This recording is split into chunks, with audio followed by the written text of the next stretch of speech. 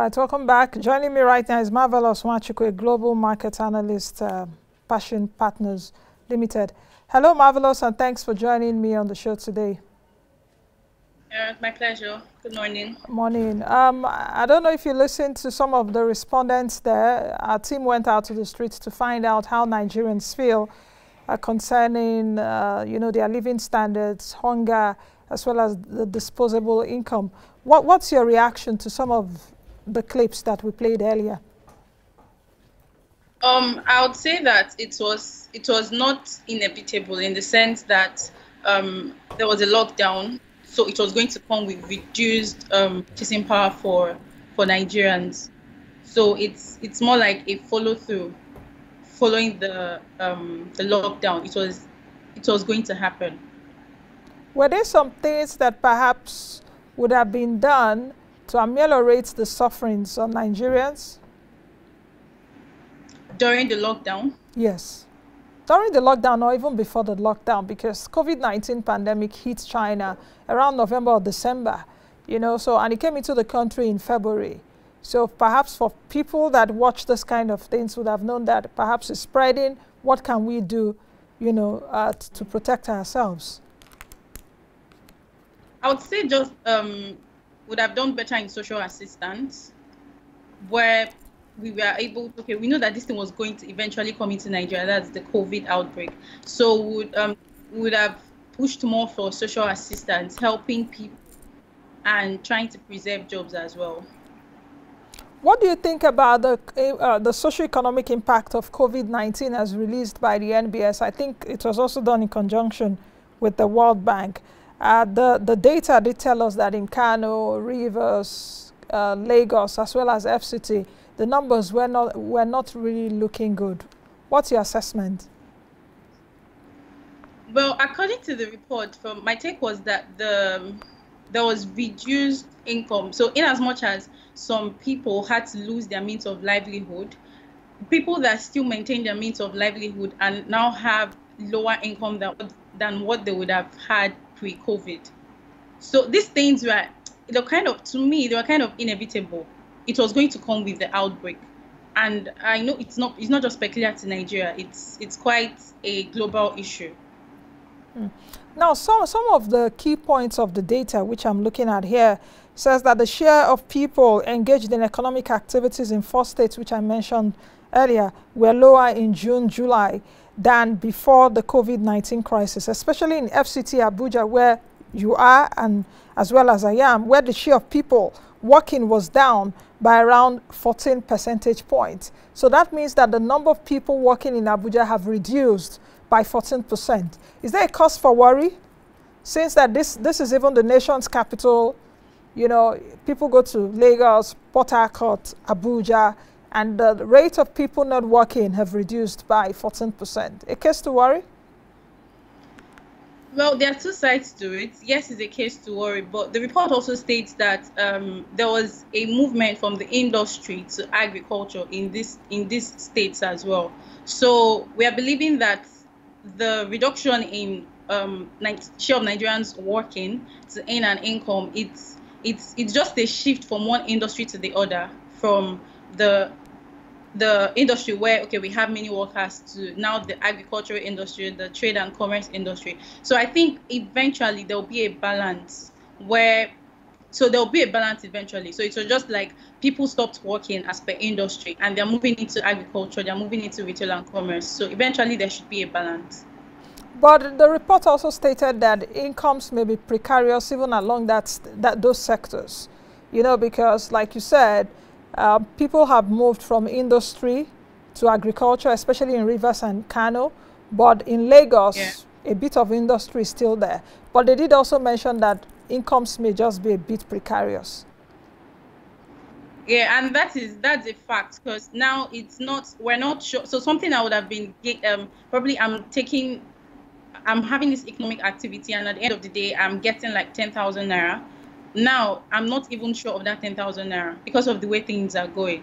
It might have reduced to 8,000 naira, and it's nothing about um, inflation or anything. It's just how the economy is right now. Income has become vulnerable. Like we're not, it's not static any longer, basically. what do you have to say about the food insecurity that is, uh, yes, food insecurity that is prevalent in some of those states, as also noticed by the NBS, which uh, in its report says that food insecurity appears to be prevalent in all four states, especially in Rivers and FCT Abuja, where 79% of households and 72% of households, respectively, reported having to skip meals at the start of the pandemic. So that means that 72% uh, of households in Abuja skip meals, 79% of households skip meals in Rivers State. So I would say that it's not um, skipping meal, and I think the report also states that um, across these four states, there are households that run out of food because of um, lack of money and other resources. So it's all hinged on the fact that um, share of Nigerians have less access to money. They have reduced income. They just have reduced purchasing power now. So something I would have gotten earlier we my um, with my ten thousand naira, now I have only like five thousand naira to get those things.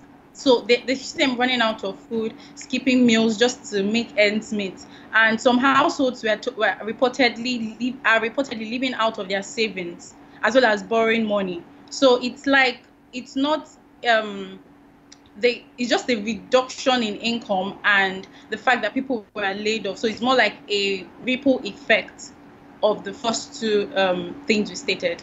What do you think will be the socio-economic impact of this? Because if people do not have incomes anymore or their incomes are reduced or they're drawing down on their savings in some of those states, what are the challenges that these kind of things pose? Uh, because we are a country that is already faced with insecurity, we are a country faced with unemployment. So how much of this would also impact some of the socio-economic ills which we are experiencing right now? Because they say a hungry man is an angry man. Yeah, true. So I'll try to be um, I'll try to be optimistic about this. I want to believe that Nigerians are hardworking people, so um, would have a greater percentage of we have a greater percentage of Nigerians going into commerce and industry, having more um, online businesses, having more, we have more vendors for different services. And on the flip side of it, we'll also have a slight increase. I, am just being optimistic, so that's why I'm saying slight. A slight increase in um, security issues, where people would have to be more cautious at um, security wise and all of that. But I'm I'm just hoping that most Nigerians will just move into um, um, they'll just be self-employed where they just start something um, all this handwork and everything just to keep and um, just to make ends meet hello youtubers. Welcome to moneyline with nancy tv youtube channel. This is where we provide you with instructive business directions processes and guidance to help you assess the right resources to fund your businesses to withstand every form of internal and external shock. You will find here awesome informative videos on business, entrepreneurship, and lifestyle just to help you make informed business and financial decisions. Punch the subscribe button and let us drive you through the world of business. Please follow all our social media platforms on Facebook, on Twitter, on Instagram, on LinkedIn, and follow us for latest updates on our website. What do you think that those states that are concerned should do? Because it seems that even with the different palliative measures or interventions, uh, even from government as well as uh, private sectors, such as CACOVID, doing some interventions in states, it seems not to be working. So what should these states do? And I'm not just even talking about these four states reflected uh, on this report. Things like this really, it's, it's almost in every state in the country. Yeah. So I'll still, it's, I think for me, I feel it still boils down to social assistance, where the government comes up with, um, aside palliatives, come up with um, programs that assist um, of states, that assist residents rather of states, where there's a program to help them learn um, a handwork or just to learn something to keep them moving, to generate income for themselves. Because in the long run, if these things are neglected, neglected, the we'll feel it like as a nation and not just in that state. If there's a security issue in a particular state, people tend to leave that place, go to, go to another state. Before you know, there's overpopulation in a set state. So I think the government should just come up with more um, programs to assist people, to assist um, residents generate income even for themselves. Marvellous. The question is, government is doing that right now. Different state governments, okay. yes, the different state governments are doing that. Different state governments have some kind of vocational training for its residents or citizens, uh, some kind of, you know, social assistance. But it seems not to be working. Should the model, should there be a, a, a strategy or should, you, uh, should the government re-strategize? Should a new model come up with? Because it seems with all these efforts, it's still not catching up. The federal government on its part has the uh, 5,000 naira uh, social um, conditional cash transfer, the homeschool feeding program, the N-Power program, you know, and all of that. But it seems even with all of this, Nigerians are still getting poorer and unemployment is still high. I, I understand where you're coming from, but at the same time, I feel that there should be more um, policies in place to make sure that Nigerians at the event will eventually get will benefit from these programs because it seems that yeah in as much as the programs are for Nigerians it's not uh, they don't directly benefit from it so I think more policies should be put in place to checkmate the these programs to make sure that um, Nigerians are taking full benefit of the, the programs. How do you think that this uh, uh, economic output contraction, which we have suffered in the second quarter, how do you think it will play out? At least in the next few months, we're going to be expecting also the third quarter GDP numbers by the NBS. And according to economists, after two successive quarters of contraction, the economy and the economy will be said to be in a recession. So, yes, what are your expectations?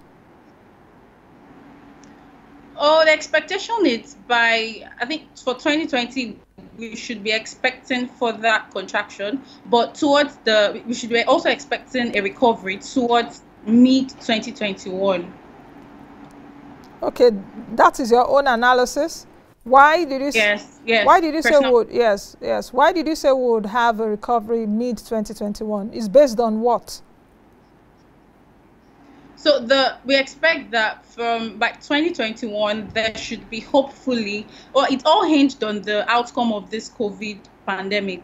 So eventually, if we have a um, if we have the vaccine ready and the pandemic dies down, people there'll, there'll be a slow recovery as to act, economic activities globally and businesses in nigeria as well will begin to ease off of the um, impact the pandemic had on them so it, there'll be a recovery globally and i know nigeria won't be an exception how do you how, how do you see that businesses should uh, recover because the pandemic has changed the world of business as we know it you know, some yeah. sectors may suffer even when we recover, even when there is a vaccine. Some sector may not be as buoyant as they used to be with uh, prior uh, COVID-19 or during the old normal. With the new normal, even if there is a vaccine, some sectors will still not be up there. I hope you understand what I'm saying. T looking at sectors yeah. such as aviation, for example, some people may just say,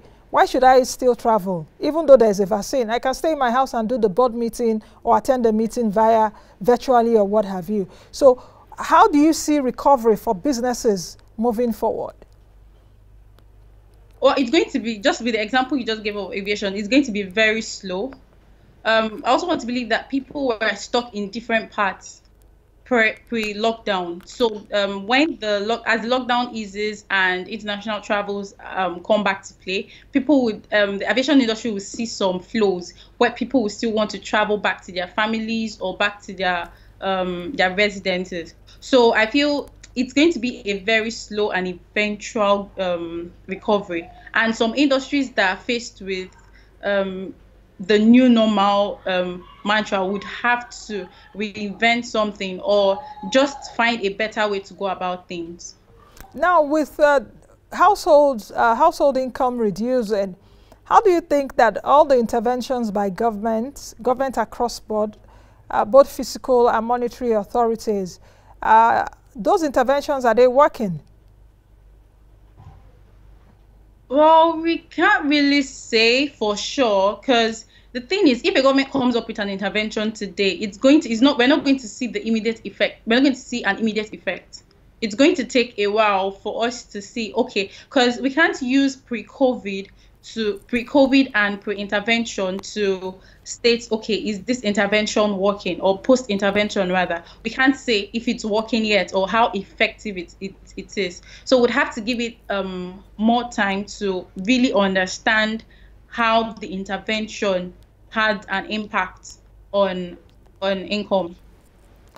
Uh, marvellous. Um, what do you expect the government to do moving forward? Because the National Economic Sustainability Plan projects 2.3 trillion naira for the economy within this period for us to be able to recover. Um, the CBN too is also doing its own part. Um, what do you expect the government to do more um, vis-a-vis -vis the position of the government right now fiscally?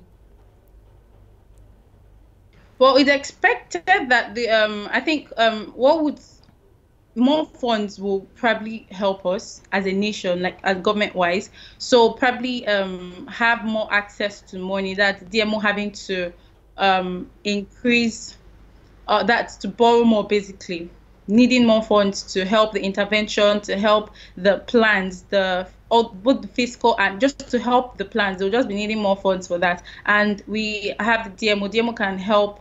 Um, we can get funds as well from Nigerians as well as but, foreign but investors. Nigerians are really averse to our debt profile right now. Our debt profile is up, though the debt to GDP ratio is not as high as other countries. But what a lot of analysts are really uh, disturbed about is debt to revenue, uh, revenue uh, and the servicing of those debts? I think last time um, the DG, um, Dr. General of DMO, she, she, she had explicitly stated that Nigeria is covered for debt servicing for the year. So debt servicing should don't be a source of worry as as at now because we're kind of covered in that area. And the thing is, we need more if um, the if the government needs more money they'll need to get more money and they can as well get the get the money from funds from foreign investors the question is that we are servicing our debt but the question is debt servicing to revenue because a lot of our revenue goes into debt servicing debt and even the revenue itself is challenged because all price is going down all price is not at an all-time high so to speak. You understand what I mean? So, yeah. yes, so we are challenged. So the little money we are getting, we will definitely service our debt. The remaining one goes to, to other, other, of course, recurrent expenditure first. Then perhaps the little part of it will go to capex. So it's just to generate more forms of revenue for the government. How, but they how, still boil down. how do you think it should be done? Because is it through taxes? VAT has been increased 7.5%. We have explored the tax region. That there's been um, a hike in the so um, Nigerians are to pay more taxes right now. So we have explored that region to raise revenue as well. Um, the government, I think, we can also um, create more. It is still boil down to more expenditure because if we say we want to create more um, more avenues for income to generate income for the government, we would have to first um, invest in capital expenditure to help generate the income. So okay. it's just a circle on its own. Okay. I think we'll leave it at that. Thank you very much, Marvellous Nwachukwu, for joining us on the show today. Thanks for having me. All right, I'll be speaking with Marvellous Nwachukwu, Global Market Analyst, Parthian uh, Partners uh, Limited. That's the much we can take with her. Uh, it's a Wednesday, so the CBN Weekly segment today. Uh, we're taking you through one of the interventions uh, that the Apex Bank is doing in the palm oil sector uh, because the CBN announced a few months ago that it will get involved in 10 commodities uh, in the value chain of those 10 commodities to be able to diversify the economy. So we're bringing you today the palm oil intervention. Uh, don't forget that other commodities include, I think, rice, cocoa, tomatoes, livestock, uh, palm oil. Which other one? How many have I counted? Okay, let's just quickly take this. And we'll be right back to take your comments. I would uh, want to hear from all of you that are watching how um, your disposable income has been doing. Um, if you are in Abuja, Kano, Rivers, Lagos, according to the NBS, uh, we are not living well because I'm also part of it. Uh, so do send us your comments on all our social media handles. Let's quickly take this. We'll be right back.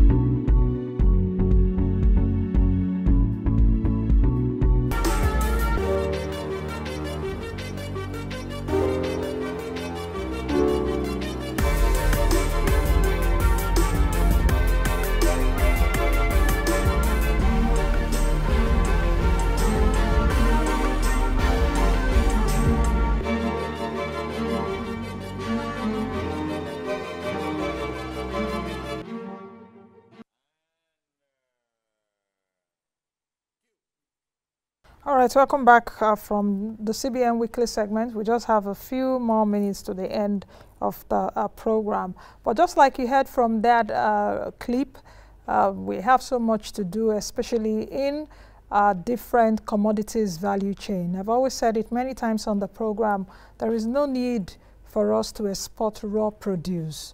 The problem is why should we just even export raw cocoa, raw crude, and we import the processed or the finished products you know, like chocolates, like refined fuel and all of that. We need, you know, to enhance the value chain. That's how we can create jobs. If you take a look at palm oil, which uh, the clip said earlier, uh, talked about, palm oil, I think uh, India and Indonesia are the two biggest countries in terms of biggest users uh, in the world. Uh, Indonesia, about 6 million tons, uh, while India, uh, it's about, that's the usage, about 9.4 million tons of palm oil. Uh, when we come to some of the commodities we're blessed with, like cassava, Nigeria is the biggest producer, palm oil, we're not the biggest producer, but we're, I think, the fifth largest producers uh, in the world. We produce in states like uh, Abia, Cross River, Akwa Ibom, Bayelsa, Ondo, Delta, which other states? You know, just a few other states, are especially in the south or even in the southeast region of the country. So who says that we cannot make money from some of these commodities and not just exporting them, but we need to create um, we need to add value along the chain, and that will be what will create jobs in the states. So the governors of states in Nigeria need to be doing more than they are doing right now to create jobs for their citizens, Insecurity in the country is high. People are getting impatient with the government. We're seeing insecurity, all shades of insecurity right now in the country. I was told just a few days ago someone parked his car in Maitama. Maitama here in Abuja is one of the highbrow areas. And just before he went into an office and came back, his car was vandalized. Broad daylight. So things are not as good as they should be.